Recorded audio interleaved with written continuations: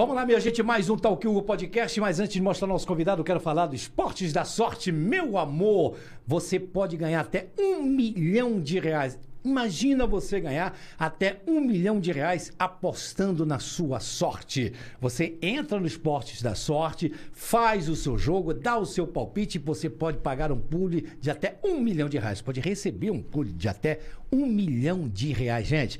É muito dinheiro. Esportes da Sorte. Entra lá, faz a sua aposta e se você ganhar alguma coisa, não esqueça de mim, pelo amor de Deus. Lembre desse seu amigo aqui do Talk Podcast. Daniel Coelho. Tá filmando o quê, né? Vamos, vamos entrar ao vivo aqui também, né? Ah, que massa! Ah, vamos lá. José, tem, pega aqui, ó. Tem alguma. Pega aqui pra. pra- Pe- Pega aqui pra. Já, já estamos ao vivo aqui com Que o Hugo massa. Esteves. Vai também pro Instagram. Estamos gravando.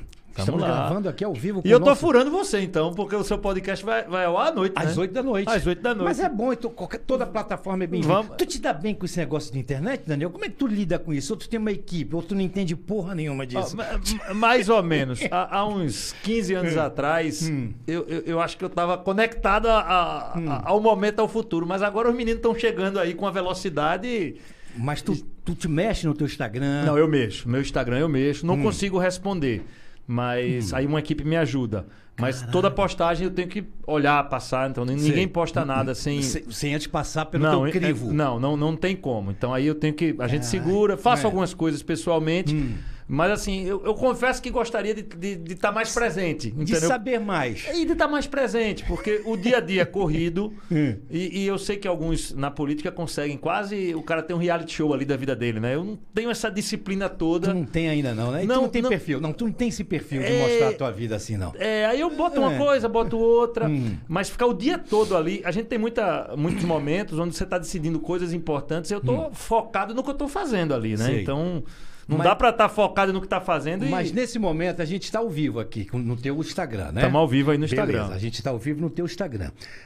Tu entra às vezes ao vivo direto do plenário também, quando tem votação importante? Dificilmente. Dificilmente, É. porque é que tá. Eu tô focado no que tá acontecendo ali. A gente tá no. Ah, eu, tô, eu tô concentrado no que eu tô fazendo. Hum. Então aqui tem José que tá na equipe da gente, tá aqui nos filmando.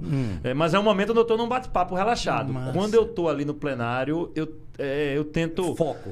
É, tem gente que consegue fazer quatro Eu- coisas ao mesmo tempo. É. Não é muito a minha, não. Eu tenho que estar concentrado. Que eu né? já vi Tabata Amaral, eu, eu sigo a Tabata Amaral, ela toda hora faz ao vivo do plenário. É, tem gente que faz. Tem gente que faz. mas eu acho, mas eu, eu acho interessante. É, eu não, assim, acho que cada um tem seu Porque de vez em quando formato. a gente ouve e vê o que a gente não quer, às vezes. É, tem, tem parlamentar que é bom parlamentar e tá nesse ao vivo.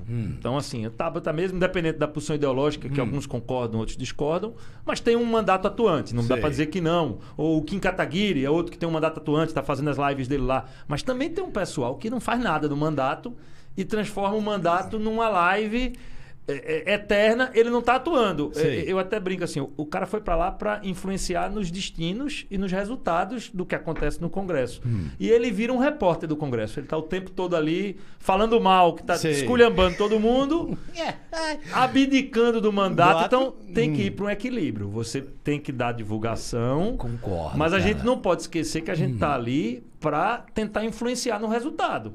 Sei. Não adianta eu ficar na minha. falando com meus seguidores, esculhambando, tá tudo errado e não fazer nada. Porque uma parcela hoje do Congresso tá nessa. O cara tá ali. É como se ele fosse um repórter e não um deputado. O cara até diz, não, os deputados, como se ele não fosse parte. Sei. Então eu acho que aí foge um pouco. Mas é um processo, né? A gente tá se adaptando a esse novo mundo. Ô, Daniel, eu trouxe aqui, onde tu tá sentado, bebe aguinha aí. Eu trouxe a Marília Reis pro meu podcast. Aí eu recebi porrada de tudo que é lado. Porrada, você, eu sabia que tu era esquerda, eu sabia que tu era vermelho. Aí trouxe a Priscila Krause. Porrada de todo lado, eu sabia! Cara, como é que a gente vai viver agora, velho?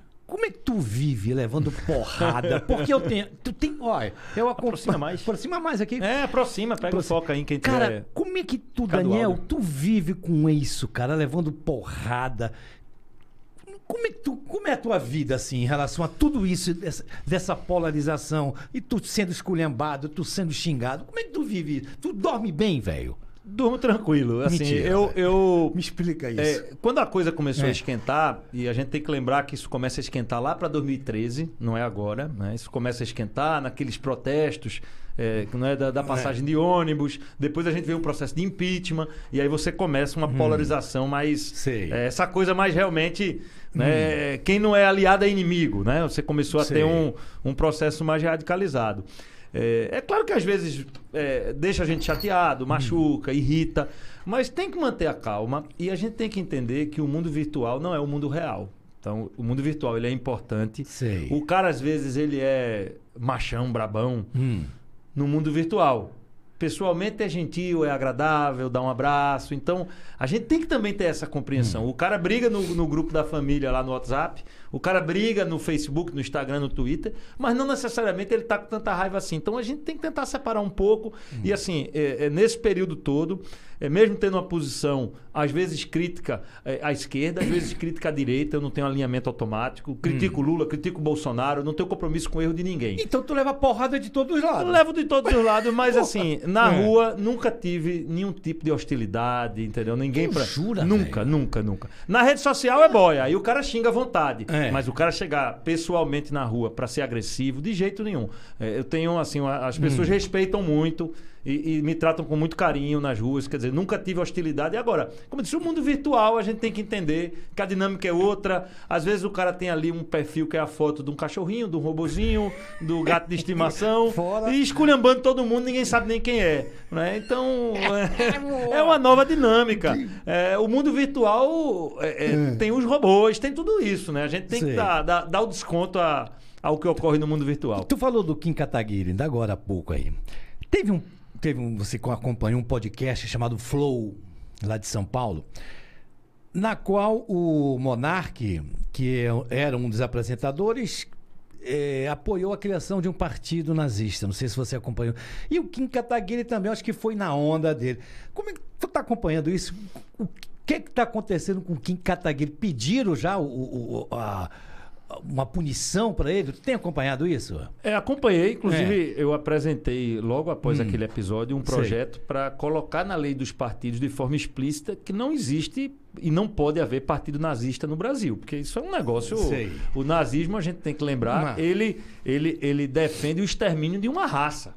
É dizer que é para matar judeu. Então assim, isso não é não é o cara ser de esquerda ou de direita, isso é outra coisa, é, defender a morte de uma parcela da população. Hum. Kim foi extremamente infeliz ali, mas pelo que acompanhei, eh, no outro dia ele pediu desculpas. Então disse que se arrependia, que tinha falado bobagem, que Sei. tinha entrado na onda e pediu desculpas. Então acho que, ponto de vista dele, o eleitor dele vai avaliar se isso vai tirar ou não voto, porque aí Sei. o eleitor é soberano.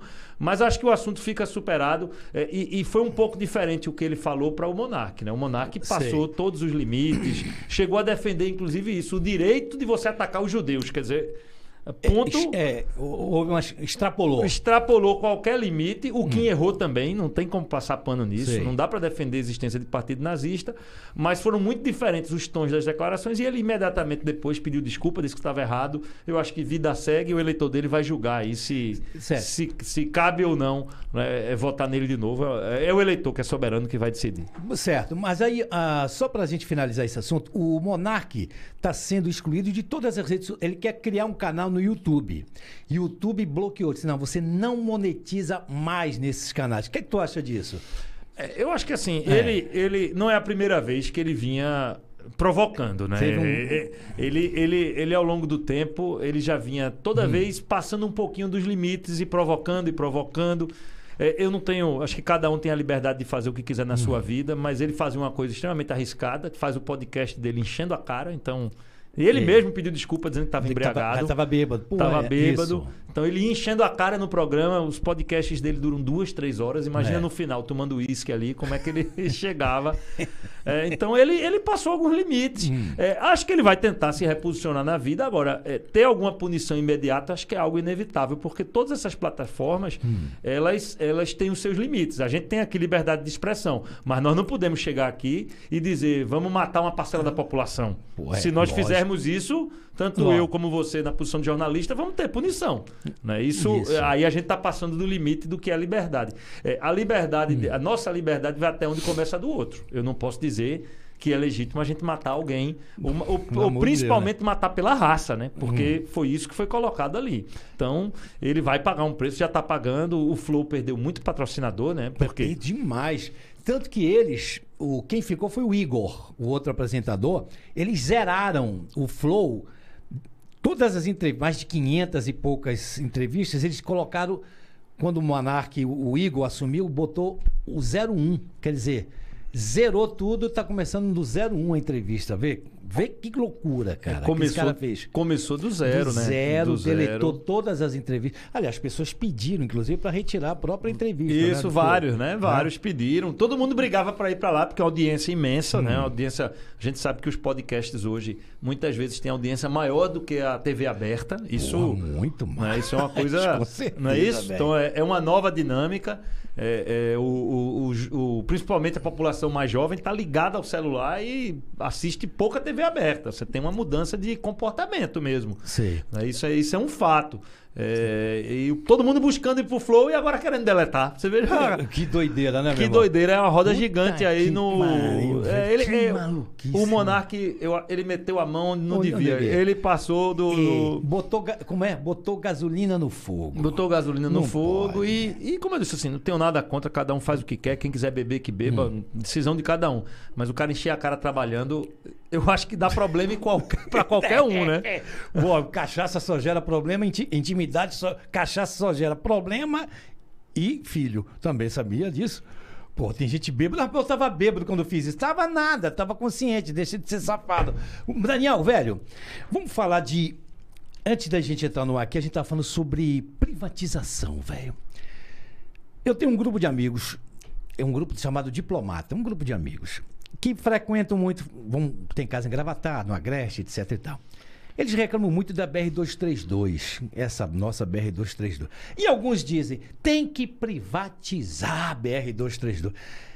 Privatização é a solução até que ponto, pra, na- no teu entendimento? No meu entendimento, É. ela é solução se o contrato for bem feito. Porque não é só privatizar para garantir que vai funcionar. Então, você entregar para uma empresa privada sem as garantias de que aquilo vai funcionar, que vão ter instrumentos de cobrança e que vai melhorar, não adianta. Agora, se você garantir eh, uma estrada de qualidade com um pedágiozinho baratinho, a maioria dos usuários vão preferir. Veja que para ir para Porto de Galinhas, né, pegando aqui um outro destino, É. você tem a opção de ir eh, por fora, Pelo cabo? passando pelo cabo e tem a opção pela estrada pedagiada. E a maioria dos veranistas, de quem tem casa ali em Porto de Galinhas, dos turistas, preferem a pedagiada. Então, o cara prefere pagar aí numa estrada melhor e mais rápida, né? até porque gasolina tá cara pra caramba. Então, economizar 20 minutinhos da sua viagem, às vezes o que você pagou de pedágio ali, você ganha, né? Por estar gastando menos combustível.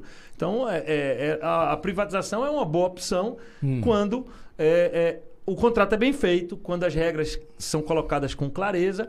Né? É, eu acho que a conta do usuário que tem, por exemplo, uma casa em Gravatar, o cara faz a conta. Ah, eu prefiro gastar para ir e voltar para minha casa é, 10 reais de pedágio do que rasgar um pneu e gastar 300, E 400. ter uma estrada de qualidade. Então, estrada de qualidade, com segurança. né? Então, é, é, a telefonia acho que é o maior exemplo de privatização bem feita no Brasil. né? A gente tinha até a privatização o, o- o sistema de telefone fixo com as linhas. Eram, a linha era tão cara que ia para o imposto de renda, né? Não, o cara é- colocava linha telefônica tal. Não, né? e, e você chegava, não sei se é da tua época, lógico, na Rua do Príncipe, ali na Telp. Rapaz, para alugar uma linha de telefone. uma- Alugar, é isso. Pô, a gente alugava, né? Quando conseguia um telefone alugado, puta merda, a gente era glória. O cara se aposentava, ficava com 10 linhas como renda para viver, é, né? porra, entrava até em, em- em- divórcio as Então, linhas. Eu fico com 10 linhas de telefone e você fica com 10. Ali foi bem feita a É. privatização, porque foi uma privatização que abriu concorrência, então hoje.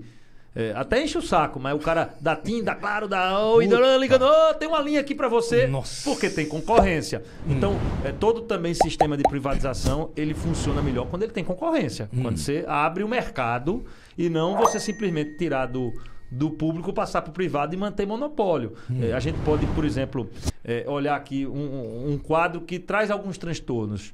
A privatização da energia, porque ficou um fornecedor só. O ideal é que nós tivéssemos vários. Sei. Então, tem gente que reclama bastante do que ocorre aqui na prestação de serviço de energia. É, o ideal é você abrir mercado, deixar que as pessoas façam competição, que tenha concorrência. É, é, quando você observa é, alguns, alguns. Portugal tem exemplo disso, São Paulo. O cara não tem uma rodovia, tem duas pedagiadas. Tem uma pedagiada, tem uma livre. E aí o cara escolhe: eu vou por essa, eu vou por aquela. São Paulo, quase tudo é pedagiado, pô. Tudo pedagiado e com opção. Dutra- é. É, com, com opção. Vai por essa daqui ou pode ir pela outra, 10 quilômetros mais longe. Então o cara faz a conta. Sei. É, esse era o ideal aqui pra gente poder avançar. E, e a 232 é brincadeira a manutenção dela, né? Não, bicho, quando você chega ali em frente àquele atacadão dos presentes. Ah, é a entrada e saída do Recife. Que pariu. É terrível. Que que é isso? Vou entrar numa área aí boa agora pra tu. A gente tem uma tal de terceira via agora. A, a- a política. Terceira via. Para presidente, agora a gente tem uma terceira via. Sérgio Moro. Aqui nós temos agora uma segunda via. Quem é a segunda via no, no Estado? Aqui em Pernambuco. Nós temos a primeira, que é o Danilo Cabral. É, aqui. É o- a segunda. Quem Não, é? Aqui, assim, a gente tem hoje um quadro onde, é, na verdade, quem aponta em primeiro lugar ainda não é o Danilo. Danilo entrou agora, mas Raquel lidera as pesquisas. Então a gente está num quadro muito favorável a Raquel. Raquel claro, Lira, prefeita de Caruaru. viu, prefeita gente? de Caruaru. É. Claro que a gente entende que o candidato do governo é sempre competitivo. Então o Danilo eh, tem o apoio do governo, vai ter a máquina, Hum. eh, tem toda aquela estrutura. A gente sabe como funciona a política. Ninguém está subestimando Hum. eh, o candidato do governo. Mas a situação de Raquel hoje, ela é uma situação eh, bastante favorável para quem vai disputar uma eleição pela primeira vez. Normalmente o novato começa lá atrás e ela abre na frente. Então tem uma coisa aí diferente acontecendo. Eu estou muito confiante na opção de Raquel para o governo desse ano. Estou acreditando bastante nela como candidata. Miguel Coelho. Miguel vem nesse jo- jogo, Anderson também. São dois candidatos da oposição eh, que acho que vão contribuir, porque para ter segundo turno precisa ter muitas candidaturas. Né? Tenho respeito por todos eles, não vou estar aqui fazendo eh, crítica a ninguém. Agora, a minha opção é por Raquel. né? Acho que chegou o momento da gente ter uma mulher. Eh, uma mulher jovem, com um currículo bacana, uma gestão eh, eh, exemplar na cidade de Caruaru, Isso é concursada, é, ela, tem, ela, tem, ela tem um histórico é, que ajuda muito e, e há um desejo Hum. também de ter uma mulher pela primeira vez no governo. O público feminino ele é maioria. né? Há esse apelo. Eu estou confiante nela, com respeito aos demais candidatos, deixa o debate correr e, e- e- acho até legal que a gente tenha a opção de Raquel, de Anderson, de, De Miguel, Miguel. e o governo apresentando a sua. né? Isso para o eleitor é a melhor coisa, ter opção. Às vezes o cara diz, eu não tenho quem votar. Vai ter. Você vai ter aí. né? Então vamos lá, vamos fazer. Danilo Cabral, vamos vou colocar aqui a coisa.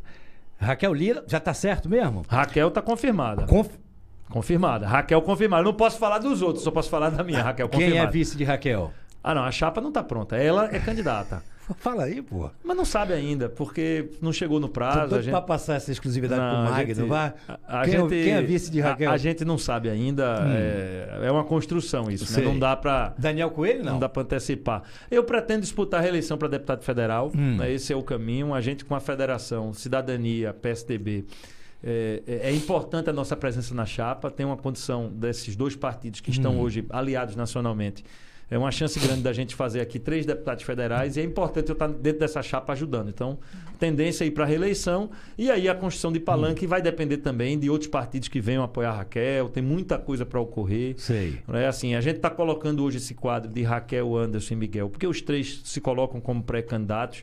Pode ser que algum deles faça composição. Então, assim, tem coisa para acontecer, né? Cara, Vamos não- aguardar. tu não fala nada, né, velho? É, mas porque Esse não dá. bicho Senão a gente vai estar rapaz, enrolando. Não dá. não fala nada. Mas sim, mas, aí, mas o nome do vice que tu não falou da Raquel? Eu não sei ainda. Hugo. Eu não sei Porra, ainda. bicho, tu é muito Aí é chato. bola de cristal, pô. Porra, Não sei bicho. ainda, não sei. Bora arriscar um nome. Miguel Coelho, vice, pronto. Mas tem que perguntar a Miguel, né? Se eu falar aqui que ele é o vice, ele vai ficar chateado. Ele é que tem que tomar. Essa composição de Senado e vice, ela vem no segundo Já- momento. não, eu- eu já- desculpa, mas já passou na tua cabeça isso, Senado? disputar o Senado esse ano? Olha, eu, eu tô focado na reeleição para deputado federal. Quem sabe na outra, duas vagas, outro momento, Raquel já é governadora. Quem sabe aí a gente vai para uma disputa. Mas é tempo futuro. Agora realmente é, é a- É. o caminho nosso é ir buscar essa reeleição. E, e fortalecer esse projeto de Raquel aqui. Cada um tem que jogar numa posição. Não dá pra gente jogar só de atacante, não. Tem que jogar de volante também, passar a bola, tocar pra Sei. frente. Agora, quem são, falaste é, fazer três deputados. Então, Daniel, Aí o, o partido sai com chapa completa. A Raquel está construindo. Como é que ela construiu sua pré-candidatura? Ela hoje tem candidatos a deputado federal nos diversos cantos do estado, ex-prefeitos, vereadores. Sei. Então é difícil apontar favorito nesse jogo. Aí é um jogo em aberto. Se eu falar que os caras me matam, porque tem 25 brigando por essa vaga. Então, é, todo mundo acha Sei. que tem chance. E é normal, é tem, do jogo. Mas tem 25. Mas você disse que quer fazer três. Quem tu achas que entra? Mas se eu falar os dois, imagina, Hugo, tu quer me arrumar Rapaz, 23? tu é muito- Não, Cara, esse cara Ô, não- Hugo, Porra, tu não- tu não- você tu me não fala perguntou nada, A velho. gente começou aqui, aí você disse, rapaz, como é que você aguenta o cara esculhambando? Você quer me arrumar 23 inimigos? Se eu falar, se eu falar quem são, é, então assim, mas é, é realmente uma chapa disputada porque não tem um favorito natural, né? Hum. Não tem um cara natural assim que vai despontar, Hum. é, porque são todos em condição de igualdade. Eu é, não, não, não- quero colocar aqui que a minha vida está resolvida, mas por ter mandato a gente tem alguma vantagem, né? Você tem vantagem de estar exercendo mandato, tem um espaço maior de, de divulgação. É, os outros, todos eles vão disputar pela primeira vez, então é jogo aberto. Assim como a chapa de estadual Cidadania PSDB é, vai ter.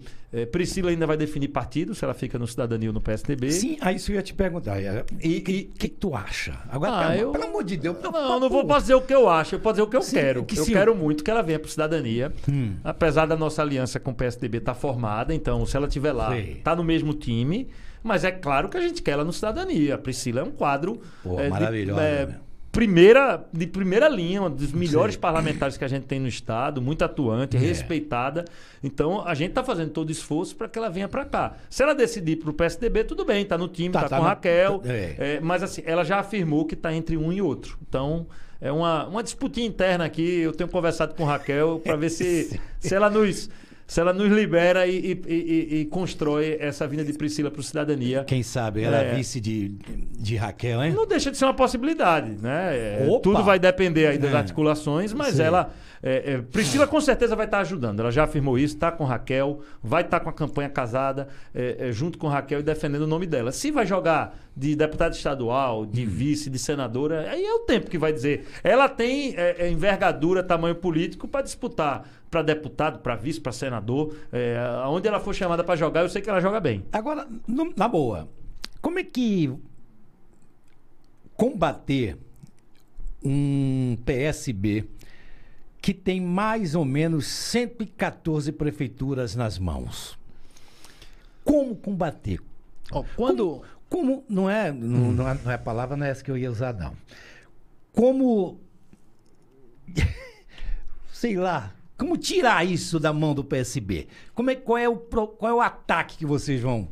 Quando Que é muita prefeitura. Não, a estrutura é inegável. A É. grana, a estrutura, o poder econômico eles têm. Hum. Mas a gente sabe que quando o vento sopra, amigo, ninguém segura. Então, assim, é, é, existem horas Hum. que quando esse vento da mudança chega, que toda essa estrutura pode ir por água abaixo. E a gente já viu isso acontecer. Se você olhar historicamente as eleições, é, o governo tem vantagem? Tem, não vou negar. Mas quando sopra, Eduardo Campos, quando ganhou a primeira eleição dele, não tinha estrutura nenhuma. Quando o próprio PSB chegou, a gente tinha ali Jarba no- com todas essas prefeituras, apoiando Mendonça, e o povo não quis, trocou. A eleição de presidente, a última. Mas, mas sem querer te cortar, Ah, te cortando. corta mas aí. eles fizeram um homem desconhecido como Paulo Câmara também.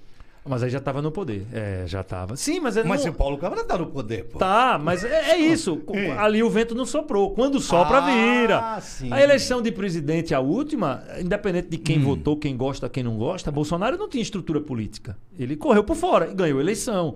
É, se a gente olhar lá atrás, não Hum. agora, mas lá atrás, na primeira de Lula, também não tinha. O próprio Collor ganhou sem ter. É, quer dizer, você tem viradas que quando elas ocorrem é assim, simplesmente, pô. Mas, não, peraí, mas o Collor teve um- um- um- uma sombra que foi a Globo. Sim, teve peso, claro que teve peso. Mas aí são os outros elementos, mas não tem estrutura política. O que eu estou colocando é o seguinte: quando sopra Hum. o vento, quando vem que o povo diz, não, a gente quer, dificilmente você segura. Você vê isso nos municípios, né, várias prefeituras. Se é isso que por isso tu anda, como é que tá? Ah, Qual é a recepção da Raquel? A recepção de Raquel hoje é, excelente. A gente vê, assim, é, além da afinidade com as mulheres, uma sensação de que ela representa mudança de verdade. Que as práticas são diferentes, que ela governa diferente do que o pessoal está fazendo aí. No início da gestão de Raquel como prefeita, é, é, não foi fácil, porque estava todo mundo viciado naquele sistema. Né? Câmara de Vereadores, ela perdeu várias votações na Câmara no início do mandato Sei. dela, porque estava todo mundo viciado naquele modelo que para tudo tem que dar alguma coisa, que você não compõe as secretarias com os melhores quadros, tem que botar indicados políticos. Ela enfrentou, peitou, teve dois anos de briga, depois população entendeu que disse, não, mas está funcionando melhor assim do que naquele outro formato. Ainda tem o enfrentamento da pandemia também. Sim, claro. Não pode, gente não pode esquecer é, é, isso. A gente tinha um histórico É. em Caruaru de eleições, sempre 51% a 49%, sempre era disputado ali, né? O grupo de Uhum. Raquel com o grupo de Tony Gel era bem brigado. É, com esse modelo de uma Uhum. política mais moderna, ela conseguiu dialogar com as novas gerações, fez uma eleição com mais de 70%. Foi reeleita com o pé nas costas no primeiro turno. Então, quebrou essa polarização antiga Hum. de Caruaru, porque as novas gerações chegaram e disseram: não, eu tô cansado desse negócio de, de tudo é na negociata, tudo Hum. é na politicagem. Tem uma gestora aí que está administrando pelo bem da cidade. Caruaru percebeu. Então ela tem agora a missão de mostrar aos demais pernambucanos Hum. eh, como funcionou essa gestão dela em Caruaru. O Agreste já percebe. Tanto que, Raquel, quando você faz pesquisa nas cidades próximas, Santa Cruz, eh, Garanhuns, eh, que você vai ali em Lagedo, Gravatar, Raquel, tem um índice de intenção de voto lá em cima. Então, eh, a, a chance disso repercutir para o resto do estado é grande. Metropolitana sempre será decisiva. né? A gente sabe que essa eleição, no fim, ela vai ter um peso grande do que ocorre aqui. Recife, Olinda, Jaboatão, Camaragibe. Quem elege, então? É, é a região metropolitana? É a soma. A metropolitana tem 45% do eleitorado e aí 55% está dividido nas demais regiões do estado. Então, por peso, é, que você... é mesmo, velho. metade do eleitor está na metropolitana. Aí você tem a região do Agreste, É. de Caruaru, como a segunda região mais populosa do estado. É, você tem a zona da mata. O sertão, ele já é mais. é, é, é, é, ele é menos povoado.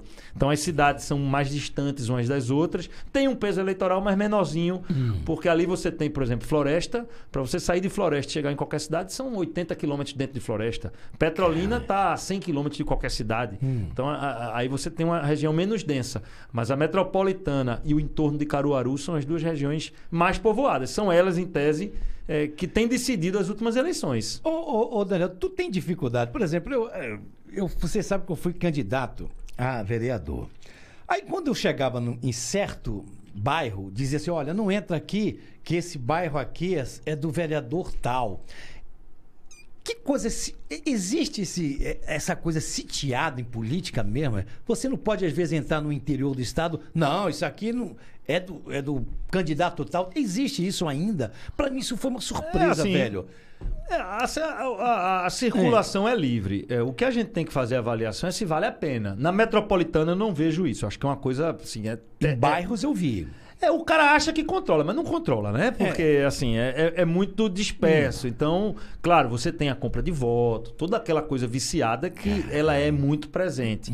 É, no interior, é mais difícil você entrar no município quando os palanques estão estabelecidos, porque quanto, quanto É. menor a cidade, mais ela fica aquela coisa do cordão vermelho contra o cordão azul. Então, Ixi, quando já tem dois candidatos colocados, é. muito difícil um terceiro entrar, porque a cidade se divide mesmo. Há uma tradição. É, tem município, inclusive, que eles nem falam de esquerda e direita, é Boca Preta e Boca Branca. É, é que é? o, o- Boca Preta? Boca Preta e Boca Branca. Você tem essa tradição em várias cidades do interior. Me explica isso aí, que eu não entendi. É os dois lados da política. Boca preta e boca branca? Boca preta e boca branca. Isso tem uma origem, vamos voltar lá para É. trás, isso tem uma força e uma origem na época da, ditadura militar. Hum. Não entrava oposição, né? Porque aquela É, época lógico. era de um lado ou era do lado. É, ou não aí, era. Aí lembra-se que criou-se Arena 1 e Arena 2. Então, na verdade, o partido do governo na época da ditadura Era Arena. Era. E você e os prefeitos disputavam da Arena contra outro da Arena. A oposição não tinha chance. Aí você fazia Arena 1 e Arena 2. Como era muito complicado Hum. fazer Arena 1 e Arena 2, boca preta, boca branca. Então é uma tradição que permanece. É, Santa Cruz, Lagedo. Às vezes muda um pouquinho. Isso sim. Às vezes muda um doideira. pouquinho o apelido. É. Tem, tem município que fala em, em- em- em abelha contra o coelho. Então, assim, muda. Pô, Mas- mas coelho, não- pô. é, Pô, logo coelho, pô. o coelho pode ganhar, viu? Então, Caralho, é uma novidade. dinâmica diferente. É É. difícil você furar. Nesses municípios que tem a tradição, você chega pro cara e É. qual é o seu partido? Eu sou, sou do Boca Branca. Eu disse, não, mas que- o Boca Branca tá aqui pra. Ah, não sei, não me interessa. Quer dizer, ele, ele Cara, sabe que o lado dele é aquele. Aí tu vai chegar em Caruaru pra fazer campanha agora. Não, Aí Caruaru tu é boca é- preta ou boca branca lá? Caruaru é uma cidade grande, ela tem É. características de, de, de- de cidade metropolitana. É. né? Ela já não faz essa. Sei. Ela tem uma outra dinâmica. Então vamos pra longe. As as cidades menores, É. onde tem essa dinâmica realmente de cidade polarizada, ou você tá no palanque de um ou de outro, ou não vá. É perda de tempo. É perda de doideira tempo. Porra, velho. É, é louco. Hum. você olha o mapa de algumas cidades na eleição para deputado, né? Você vai olhar o mapa, cidades pequenas, o primeiro lugar, tô dando um exemplo aqui, Hum. tá? Vai ter 3 mil votos, o segundo 2.500, o terceiro tem 50 votos. Quer dizer, não. A cidade se divide realmente é, em dois lados. Isso é muito presente. E tua área de atuação, cara? Pa- pa- pa- vai ser candidato à reeleição, agora para deputado. Tu vai atuar mais onde? Na região metropolitana? A, a votação maior na última eleição, É. ela se deu na região metropolitana. O teu, no teu é, caso. Hum. É, região metropolitana e Caruaru, que é uma cidade que tem também uma característica Sei. é, mais urbana, uma cidade mais aberta. Então eu também tive uma votação expressiva em Caruaru, somada à região metropolitana. É, é, é, Jabotão. Jaboatão, Olinda, Cabo. Recife, Cabo, Camaragibe, Igaraçu, Paulista, São Lourenço, toda a região metropolitana. Quantos votos tu teve? Eu tive na última 98 mil.